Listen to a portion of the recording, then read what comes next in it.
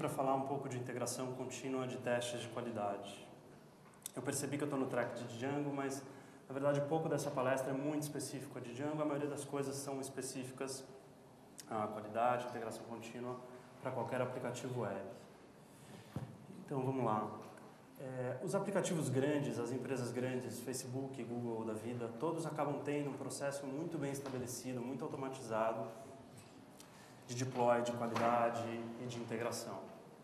E aí você tem na outra ponta, você tem os pequenos, os times, às vezes é uma pessoa só, ou duas, ou três, ou quatro, que estão trabalhando num projeto bem menor, que acabam não tendo o tempo, o conhecimento e a motivação para estruturar um pouco melhor uh, técnicas e softwares de integração contínua, de testes, quer dizer, automatizar mais o processo.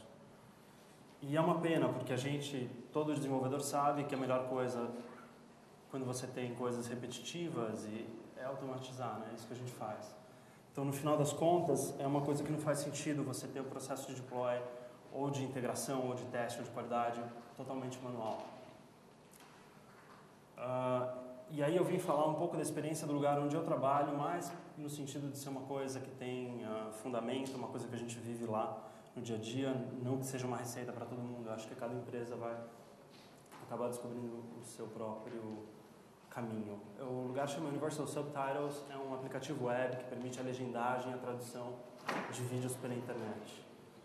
Ele é um software open source, uh, quem faz ele é a PCF, que faz também o Miro Player. Eu não sei se alguém conhece para Linux.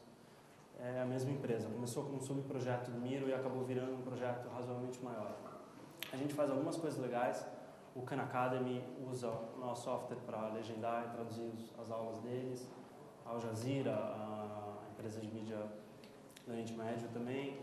Tem coisas com o New York Times, a BBC, tem parcerias novas rolando o tempo inteiro. E é tudo open source, está lá no GitHub, no final dos slides tem o código.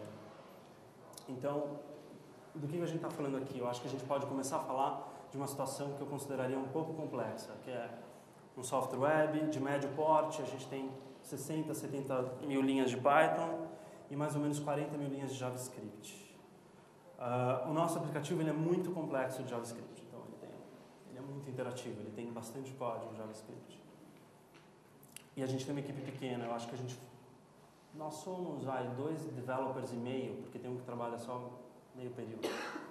Então, é um bom exemplo de um time que não é um time gigante, com uma estrutura enorme. Quer dizer, eu acho que são coisas pequenas que nos ajudaram muito e talvez algumas dessas coisas possam servir para quem está aqui assistindo. Por que, que o nosso software em particular ele é muito difícil de testar? Ele é muito... tem uma parte grande da inteligência e da interação que está no front-end ele acaba precisando trabalhar em múltiplos ambientes. Então, você tem os vários browsers, você tem alguns devices, tablets, uma série de situações que dificultam uh, o teste e o controle disso. E o nosso software ele acaba, uh, às vezes dentro do nosso site a gente conversa com APIs externas, então você pode legendar um vídeo que está no YouTube ou um vídeo que está no Vimeo dentro do nosso software, do site. E aí esse software precisa conversar com todas essas APIs. Mas a gente também permite que você embede as nossas legendas em qualquer lugar. Então, você joga uma linha de JavaScript, você só linka para um JavaScript nosso e qualquer vídeo que você tenha, que a gente suporta, YouTube, Vimeo, HTML5, alguns provedores que a gente trabalha, vão receber um widget lá dentro. Então, nosso software ele acaba tendo que viver também dentro de páginas de terceiros. E isso é bastante complicado de testar, porque, obviamente, você não tem controle desse ambiente, é um ambiente bem hostil. É difícil você fazer o teu software especialmente muita coisa pesada de JavaScript, conversar bem com outros softwares em outros lugares que você não controla. O potencial para cagada é muito grande. Uh, e também o que acontece é a gente tem um fluxo constante, a gente bota entre 5 e 7 mil linhas de código por mês nova no software a essa altura. E a gente está lidando com novos recursos, novas especificações. O projeto é razoavelmente recente, tem um ano e pouco, então não é que a gente está né, tá movendo devagar, a gente está movendo rápido, muitas coisas grandes. E esses terceiros, as APIs, as bibliotecas, estão sempre mudando. É foda. Uh, todos, YouTube, Vimeo, BitTV, Dailymotion, Flowplayer, tem muitas mudanças de APIs. Quando você vai trabalhando no dia a dia, infelizmente, o workflow inteiro de trabalhar com terceiros não é tão fácil como você gostaria. Várias vezes você acorda e descobre que mudaram tudo e nada mais funciona. E aí, aí você tem um dia bem divertido. Então, eu acho que é, a pergunta é, como que a gente encontrou para manter a qualidade? No começo, a gente tinha uma mentalidade, acho que um pouco mais tradicional. Então, a gente fazia um lançamento a cada seis semanas, por aí. A gente tinha um processo de QA formalizado, testers específicos. E aí, o que acontecia, isso especialmente era meu. Toda vez que eu ia subir uma versão nova do site, eu ficava apertado, assim, morrendo de medo. Eu falava, meu, caralho, por que, que não deixa isso assim? Tá tão bom, tá funcionando, deixa lá. E aí, aquele certo medo de fazer o release. E aí a gente percebeu que o que a gente precisava fazer era o contrário, olhar e falar, porra, mas isso aqui eu lancei um mês atrás, eu consertei um monte de bug, tudo está melhor, eu tenho melhor o código, o código está mais estável, eu tenho que ter uma ansiedade para release, fazer o release, porque eu sei que o código agora ele é melhor, o site é melhor. Então a gente começou a entender que o jeito de lidar com o medo de subir uma nova versão era subir uma nova versão com muita mais frequência. E a gente passou de um release a mais ou menos cada seis semanas para fazer um release semanal. A gente ainda, em princípio, não tem também muito motivo para fazer releases mais uh, diários ou algo assim também. Você acaba entregando pouca coisa, tem uma hora que não vale tanto a pena você ficar fazendo entrega, entrega, entrega. Mas um por semana tem sido uma medida legal para a gente, porque essencialmente, óbvio, você fez um feature novo, seus usuários vão ver esse feature imediatamente. Os bugs que estão sendo consertados ficam menos tempo afetando os seus usuários. E assim vai. Então, isso é como a gente venceu o medo de fazer release, né? O release early, release often, faça release sempre. Então, o grande lance, eu acho que a questão de fazer o deploy, da qualidade, do release, é que você tem a interação dos processos com a cultura do time que você está trabalhando. E eu acho que nós, desenvolvedores, somos muito focados em software, porque a gente tem um pouco essa tara, que é legal. Mas, em geral, o software é só a corporificação daquilo. Então, muita gente que eu falo sobre integração contínua, a pessoa fala, ah, o Jenkins, é o Jenkins. Mas o Jenkins é um software, né? vem dentro de um processo, vem dentro de uma ideia, e aí o Jenkins pode ser um software apropriado para o que você quer ou não. Então, acho que o importante é você perceber no teu time, na tua equipe, no teu, na tua empresa, se existe essa preocupação. Quer dizer, nós somos uma equipe pequena que quer fazer lançamentos com mais frequência, com mais segurança e termos mais mais liberdade para mudar partes grandes do código, arrumar a casa, derrubar coisas, uh, sabendo que a gente não, tá, não vai criar um caos. Então, é, o processo e a cultura da tua empresa eles vão acabar sendo refletidos no software, né? Que você usa para gerir. A gente espera que sim, nem sempre é possível. Mas no mundo ideal você vai acabar escolhendo soluções que ajudam a tua cultura, que ajudam o teu processo a trabalhar e não ao contrário. Então, para a gente não ter muito aquele fetiche do software. Ah, todo mundo fala que integração contínua é legal, então eu vou usar o Jenkins. Não, o que, que o Jenkins pode fazer para você? A gente tem que tomar um pouco cuidado das ferramentas para a gente não ficar escravo a elas. Então vamos lá. A gente vai começar um pouco então a falar da, da qualidade. Eu acho que todo mundo aqui conhece teste unitário, né? Eu não vou falar muito sobre isso, não é o ponto.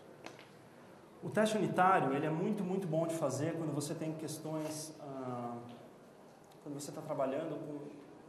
Você está testando coisas pequenas e, em geral, coisas menos ligadas à interação, à interface. O teste unitário ele tem um foco muito pequeno, quer dizer, quando você consegue testar coisas pequenas, bem pontuais, ele funciona super bem. Então, o que acontece é, você começa a falar, a gente precisa ter teste unitário, e você vai achando os bons, é, os bons alvos para você fazer, começar a fazer teste unitário, você vai fazendo e vai fazendo. Depois de um tempo, você começa a entender que o processo se inverte. Então, eu jamais conserto um bug sem criar um teste que identifica aquele bug. Porque como que eu posso ter certeza que eu consertei a coisa certa? Então, eu acho que também para empresas e times que estão tentando fazer aumentar a quantidade de teste de, de qualidade, também a gente ouve muito aquilo de TDD, que você tem que fazer teste para tudo, que existe um, um certo exagero nisso. Mas para mim, onde começou mais fácil foi entender um bug fix. Então alguém vem e te reporta um bug. Não importa se é um reporte formal, se é um amigo no wiki, ou você percebe o que, que é. Então você decide que você tem um bug a resolver. Se você tem um defeito, ele é observável. Se ele é observável, você pode reproduzir ele no código. Então você escreve o, teste que mostra que aquele defeito está lá. Em geral, quando você faz isso, se há uma parte do código que você tem alguma familiaridade, você em geral você percebe como que você vai consertar naquela hora. Ele já te ajuda a pensar na tua solução. Então, hoje em dia a gente não faz mais bug fix sem estar acompanhado de teste. E aí, obviamente, isso tem vários benefícios, mas um deles é regressão. Então, daqui a dois meses você muda uma coisa, você nunca vai voltar a ter um bug que você tinha antes, porque teu teste vai apontar na hora. Então, você acaba tendo teste de regressão, que é uma coisa muito importante. Eu fico impressionado com quanto de software profissional que tem, que vai ficando pior com o tempo. Nossa, se você joga um pacote há muitos anos, às vezes você começa a ver uns bugs que estavam lá atrás. Você fala, porra, não tem, ninguém está testando o que já aconteceu. A outra coisa que os testes acabaram funcionando muito para a gente é, você tem um pedido novo de feature, tipo um caso de uso, se ele não é muito complexo, então o caso de uso é a pessoa vem, embeda teu widget no site tal, ela está logada no site, então quando ela clica ela tem que ser levada e você faz um caso de uso. Os teus testes eles acabam funcionando como uma boa documentação dos casos de uso. Então, há um tempo atrás eu estava mexendo numa coisa e eu olhei e falei, cara, ninguém está usando esse negócio, eu acho que eu vou remover. E eu removi, aí eu rodei os testes, aí os testes quebraram. Quando eu fui ver, tinha um caso de uso super, super específico, mas de um parceiro importante para gente. Então, se eu derrubasse aquilo, era usado super pouco. Eu varri os logs, é uma vez por mês, algo assim.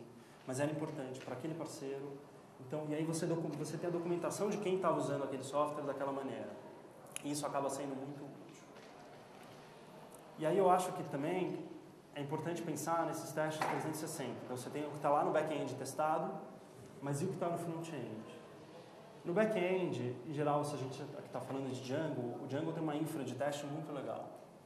Uh, agora 1.3 já está puxando as coisas de Unit Test 2, que tem os assertions novos, tem uh, um Context Manager bem bacana, então vale a pena usar. E a infra do Django é muito legal. Ele tem, agora, esse novo tem uns testes ótimos, do tipo, você pode fazer uma asserção em relação ao número de queries. Então, por exemplo, se você tem um caminho do código que você espera que a hora que o cachê esteja quente, você nunca bata no banco. Não pode bater no teu banco. Então você consegue facilmente ter certeza que tal chamada nunca vai bater no teu banco de dados. Você consegue carregar tudo para a memória.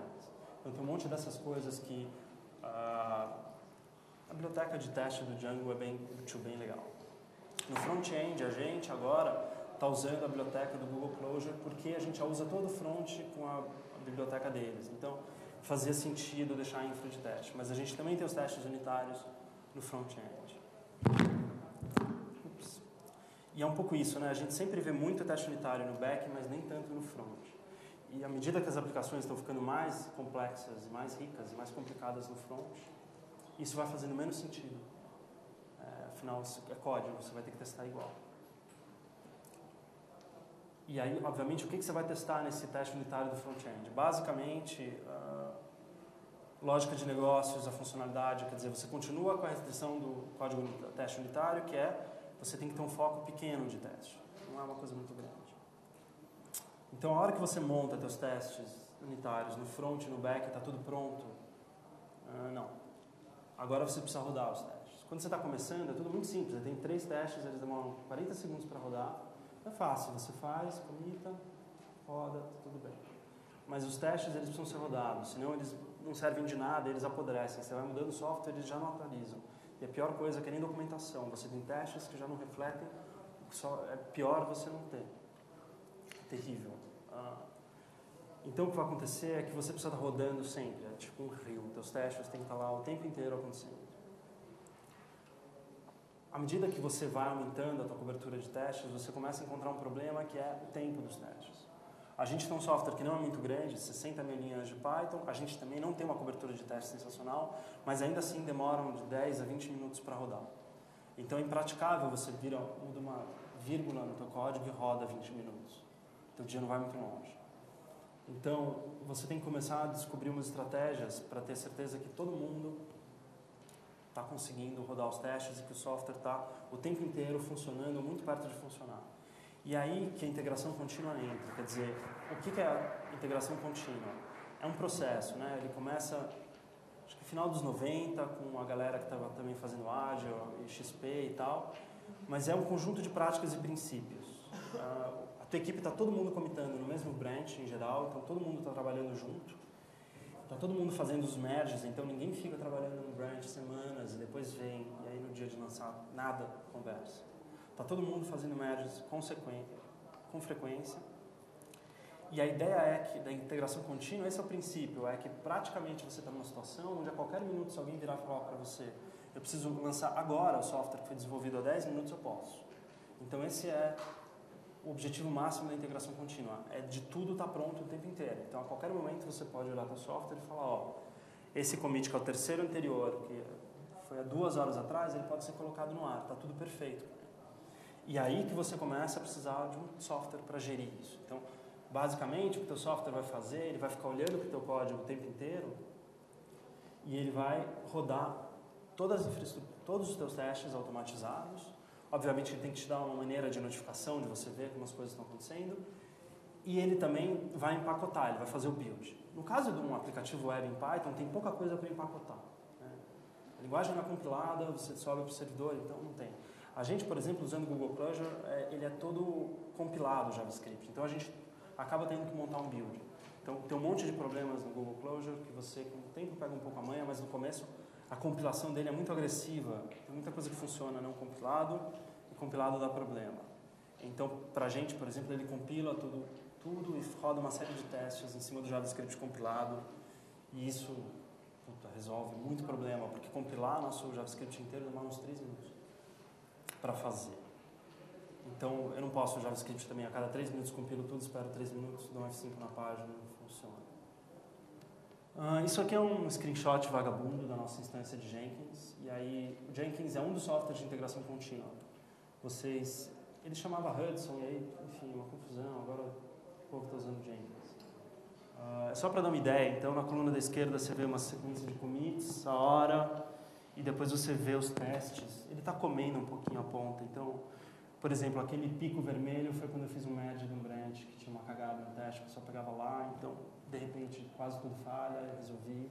Então desce. Esses brancos é quando a gente estava alterando alguma coisa no, no Jenkins mesmo, então ele não estava pegando os testes, então parece que não tem nada. E você vai indo. E aí ele tem um monte de coisas legais. O nosso Jenkins ele é público, o software é inteiro livre, então você não pode entrar e administrar o nosso Jenkins, mas você pode ver a instância. É... Tá legal. Então, ok, os testes unitários do back-end, eu vou começar a correr porque a gente está chegando perto do final. Uh, a única coisa para rodar com o Jenkins, o Jenkins ele precisa saber que testes rodaram, quantos falharam, qual é o teste que falhou. Ele tem uma série de coisinhas para ele ter essas interfaces bacanas. Então o runner do Django não consegue dar um output que vai funcionar para ele. Você precisa fazer com um plugin específico, que é o XUnit, aí você tem várias soluções, uma delas é um Django Nose, que é um Nose, que é um test runner famoso, aplicado para o Django para fazer a descoberta. Então, para rodar o teste de back-end é simples, você precisa só usar um runner apropriado. Assim, você instala do TechHop, dá uns paus. O Django Nose ele tem umas coisas de descoberta muito chatas, mas enfim, em tese funciona super bem. O front-end é um pouco mais complicado. É, você agora, até o Google esses dias lançou também um treco de command line, inteiro headless para você rodar teste em JavaScript e tal. Mas o que a gente acaba fazendo lá é que a gente roda uh, eu vou pular isso para falar um pouco na frente. A gente faz com Selenium. Então a gente abre um browser virtual, roda todos os testes unitários, inspeciona aquilo e joga o resultado de novo para o Jenkins. E aí eu acho que é isso, assim, ó, a integração contínua é mais do que um software que você instala, é uma cultura de você saber que você está programando rápido, você vai quebrando coisas e você não tem medo, porque ali tem alguém olhando o teu código falando, porra, nego, volta, quebrou, isso não está certo mesmo numa estrutura complicada e grande, onde os testes são impraticáveis de você rodar toda hora. Ah, vamos lá. E aí a pergunta é, a hora que isso está tudo certo, tudo bem? Você tem o teste unitário no front, no back, acabou? Não. Ah, a gente tem um grande buraco aí que são os testes de integração, de interação, que é o browser e a interface do usuário, a GUI. E aí o Selenium é o cara bacana acho que Selenium todo mundo conhece mais ou menos, né? O Selenium basicamente é um software que ele deixa você controlar um browser automaticamente, programaticamente. Então, porque o browser é um ambiente muito hostil, muito ruim. É muito difícil você ter controle de como as coisas vão funcionar no browser. Então, tudo que emula browser costuma dar problema. Então, o ideal é você ter um tracker que nem o Selenium. Ele está comandando o browser ali. E aí você scripta ele. E o Selenium bem feito, ele é o mais próximo do teste final que o teu usuário vai fazer. Você clica no botão de login, você coloca teu nome, teu, teu e-mail, tua senha, você entra, você submete um conteúdo. Você... Ele é muito próximo da interação final do usuário. Mas nem tudo são um mar de rosas. Os testes de Selenium costumam ser frágeis, porque eles dependem da composição do teu HTML. Então, se você muda o nome de um campo, de repente algum teste quebra. Outra coisa é, testes de Selenium costumam demorar para escrever. Se você tem, tem um negócio chamado Selenium IDE, que você pode botar no Firefox, usa. Eles são testes um pouco demorados para escrever. E eles demoram muito para rodar, porque além deles terem o tempo que o JavaScript tem que executar no browser, o tempo que todo back-end tem que executar, o tempo atravessando a rede que o banco faz e todo, você tem um bando de tempos de coisas assíncronas no browser. Então você clica, o browser tem que mandar, esperar, volta a resposta, ele rende a página, você tem que ficar esperando, cheio de timer, porque você está sempre testando coisas assíncronas, né? senão não tem sentido. Né? O teste Selenium ele é cheio de coisas assíncronas. Então eles também demoram para rodar. A nossa suíte, que também não é uma suíte enorme, ela demora quase duas horas para rodar num browser. E aí você começa a ter um problema que é uma certa acrobacia com o Selenium. Uh, que é como você fazer essa dança complicada que é, porra, ele resolve muitos problemas, mas ele é difícil de escrever, ele demora para rodar, então você começa a ter que ter um pouco umas alternativas. As nossas basicamente foram: a gente tem um subset pequeno de testes que a gente roda a cada commit. E a razão disso é para ter certeza que o JavaScript compilado não ficou louco e mata tudo. E dois ou três use cases, os mais importantes, estão funcionando. Então esses vão demorar 5, 10 minutos e estão lá no Jenkins rodando o tempo. A suite inteira eu rodo ainda no Jenkins, mas uma vez por dia só. E aí eu rodo em um browser, quando eu passo todo mundo num browser que eu considero básico, no caso é o Firefox, aí eu rodo em todos os browsers que a gente suporta para ver, porque é legal você falar, o software funciona no Firefox. Se eu estou tendo um problema no Explorer 8, é um problema do Explorer 8. Alguma coisa, né, em geral, especialmente quando é Explorer, é sempre o Explorer. Mas é, você pode olhar e falar, tá legal, então agora eu só tenho que fazer um cross-browser, só tenho que fazer isso funcionar. Mas isso demora muito, se demora uma hora e meia num browser, a gente está suportando 10, demora 12 horas. Aí, claro que uma empresa gigante vai poder abrir 200 instâncias e monta um grid, não sei o que, a gente não pode. Então, a gente tem que fazer um pouco esse malabarismo. Tem coisas como Sauce Labs, que é uma, um aplicativo web que deixa você rodar os seus testes de Selenium num grid na nuvem. Então, você pode falar, quero 20 máquinas e assim as minhas máquinas. Então, também existem outras maneiras legais de fazer. A última coisa que eu nunca ouço falar em qualidade um pouco é monitoramento. Porque a hora que você sobe, você subiu o software, só que na verdade o problema só começou, né? Porque agora que ele foi para o mundo de verdade. Então, eu acho que a gente tem um stack de Django bem padrão. A gente usa Solar, uh, Celery, Memcache, usa Redis, usa Banco SQL, MySQL também. Então você tem várias peças aí. E o site começa a ter jeitos de funcionar, ou jeitos de não funcionar, ou jeitos de funcionar estranho, quando algumas peças estão com um problema. Então, se o Solar quebra, algumas páginas param de ter conteúdo, mas não tudo. Se o Memcache quebra, idealmente a gente só tem o site ficar muito devagar. Na verdade, não é isso. O Memcache a gente precisa dele para rodar. Então, você tem que estar tá monitorando toda essa infra. Todo mundo está se conversando o tempo inteiro. E você tem que entender como que cada peça, quando ela não está legal, qual é o impacto final no site. Porque a hora que você sai da infraestrutura mais simples, essas coisas ficam complicadas. E aí faz parte da ideia da qualidade você ter um tempo mínimo de serviço. Então, é considerado um bug você demorar e a página demorar 40 segundos para abrir. Porque não pode, porque você tem uma carga de usuários grandes. Então, acaba sendo parte da tua qualidade entender que funcionar não adianta estar certo, mas tem que estar certo razoavelmente rápido. E a última coisa que a gente faz, porque a gente acaba usando Nagios, que é aquele treco que manda alerta e tem gráficos e tal, um software também de monitoramento. E você pode escrever um plugin, então a gente acaba tendo as coisas de Nagios tradicional, do tipo, ok, a engine está levantado, meus servidores de aplicativo estão funcionando, mas eu tenho também monitoramento de de métricas de negócio. Então, quantas pessoas, usuários novos eu tenho no mesmo dia? Já aconteceu da gente ter, por exemplo, sei lá, 200 novas legendas sendo enviadas por dia. E aí, de repente, num dia você olha e o dia quase acabou e você teve duas. E aí você fala, meu, tem algum problema no meio do caminho. Tem alguma coisa que nenhum teste pegou, que nada pegou, porque o nosso fluxo despencou. E aí você vai lá e você realmente acha o bug. Por algum motivo específico, nenhum teste. Então é legal fazer monitoramento de métricas de negócio. E a última coisa é o deployment, né? É, a hora que você vai desenvolvendo essa felicidade com fazer deployment, você vai perdendo medo, você vai também querendo melhorar ele. E aí, eu acho que o Fabric virou meio que padrão, né? Pouca gente que automatiza não usa hoje na comunidade Python. Fabric é muito legal, eu só acho que tem que tomar um, um pouco cuidado, porque o Fabric ele é muito simples de usar, ele é muito bem pensado, ele é legal, ele é leve, e você acaba usando o Fabric para coisas estranhas, do tipo provisionar o servidor inteiro. E ele não é feito para isso, às vezes vale fazer ferramentas específicas.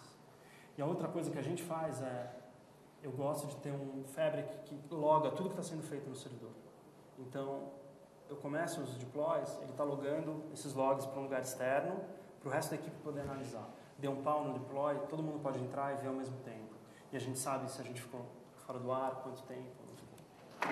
Então, no final das contas, fechando, é a nossa busca por ter uma qualidade boa, fazendo entregas constantes, foi teste unitário no back-end no front-end, um Selenium curto, que é Selenium que roda a cada commit rapidinho, que é só um check de sanidade, um Selenium longo, Selenium que é o mundo inteiro, Selenium Cross Browser, que é o mundo inteiro em vários browsers, a infra de monitoramento, um deploy controlado, e aí eu acho que está acabando aqui. A gente ainda faz testes manuais, a todas as vezes que eu faço um deploy ainda entro em pelo menos duas páginas importantes e clico, só para ter certeza que está todo mundo vivo.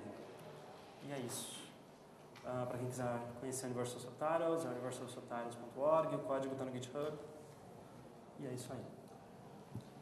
Perguntas? Bom, pessoal, pergunta.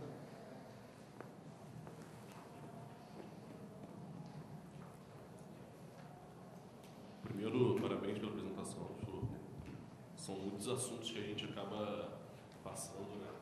É, e eu acho, queria a sua opinião assim, é, fazer tudo isso funcionar é bastante difícil.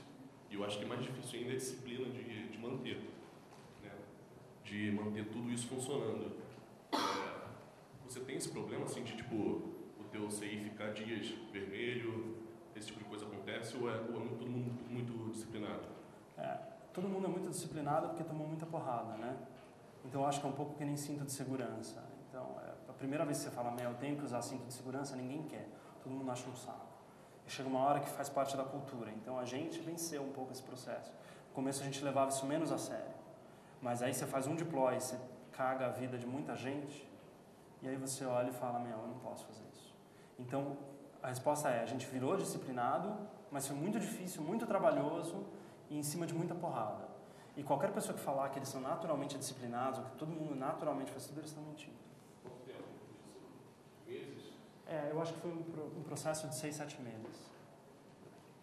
Mais perguntas? Não? Então, um das parabéns aí.